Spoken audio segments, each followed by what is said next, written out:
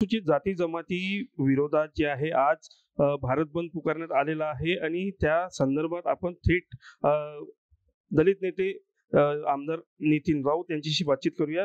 आज भारत बंद पुकारला आहात काय? संपूर्ण देशामध्ये आज भारत बंद पुकारण्यात आलेला आहे. सर्व देशातल्या दलित आदिवासी संघटना कर्मचारी संघटना आणि सामाजिक संघटना यांनी हा निर्णय करून हा बंद पुकारला आहे.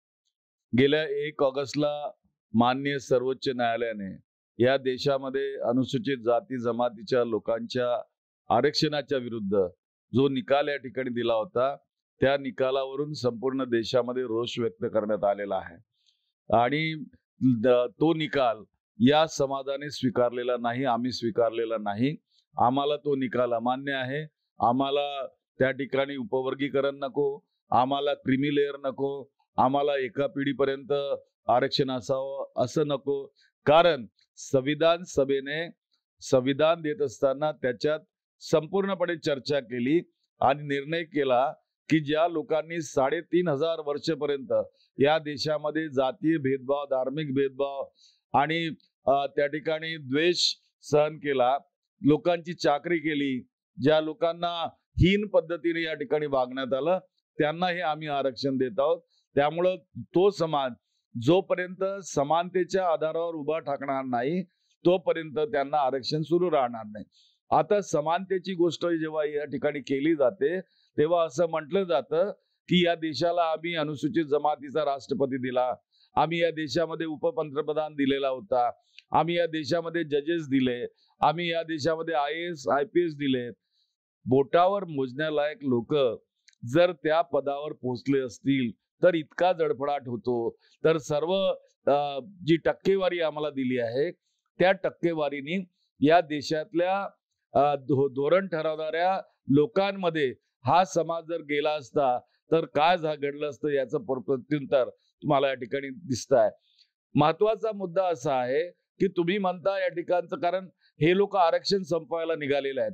यांनी यांना वाटतं की या देशात आरक्षणच राहायला नको. जेणेकरून संविधानाने जे यांना अधिकार दिले ते संपावेत आणि त्यासाठी यांचा खटाटोप आहे. डिवाइड अँड रूल आहे. फूट डालो आणि राज करचा रूल आहे. परंतु मला एक सांगा. एक प्रश्न मी सर्वांना विचारू असतो इच्छितो. या देशाची राष्ट्रपती ही अनुसूचित जमातीची आहे. जेव्हा अयोध्येतील राम मंदिराचं उद्घाटन होतं त्यावेळेला त्या देशाच्या प्रथम नागरिक असताना त्यांना त्या ठिकाणी उद्घाटनाला का बोलावण्यात आलं नाही. दुसरा मुद्दा की जेव्हा नवीन संसद भवन या ठिकाणी तयार करण्यात आलं त्या नवीन संसद भवनाच्या म्हणजे संसदेच्या सर्वोच्च देशाच्या सर्वोच्च त्या राष्ट्रपती असताना त्यांच्या शुभ हस्ते संसदेचं उद्घाटन का करण्यात आलं नाही? नंबर तीन या देशामध्ये उपप्रध पंतप्रधान म्हणून दिवंगत बाबू जगजीवन रामजी होते. ते जेव्हा स्वामी संपूर्णानंद यांच्या पुतळ्याचं अनावरण करायला गेले त्यावेळेला त्यांना त्यांची जात काढून त्या ठिकाणी त्याचं दर्शन घेता आलं नाही उद्घाटन करता आलं नाही. यानंतर अशा अनेक गोष्टी आहेत.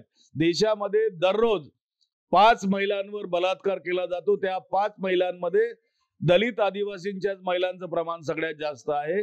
छळलं जातं. दलित समाजाला मारपीट केली जाते हत्या केली जाते. हे सगळे प्रश्न असताना या देशातली छुवाछूत संपलेली नाही. या देशातला जातीय भेदभाव संपलेला नाही.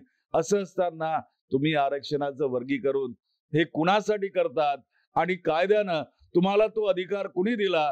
जो अधिकार संसदेचा आहे जो अधिकार राष्ट्रपतींचा आहे याच्या विरुद्ध आम्ही आज हा भारत बंद पुकारलेला आहे आणि आम्ही मोठ्या संख्येनं या भारत बंदमध्ये सामील झालेलो आहोत. नक्कीच. तर आपण बघत आहोत की नितीन राऊत जे आहेत हे भारत बंदला पुकार यांनी केलेला आहे आणि हे सामील होणार आहेत. मी हितेश मेश्राम जय महाराष्ट्र न्यूज नागपूर.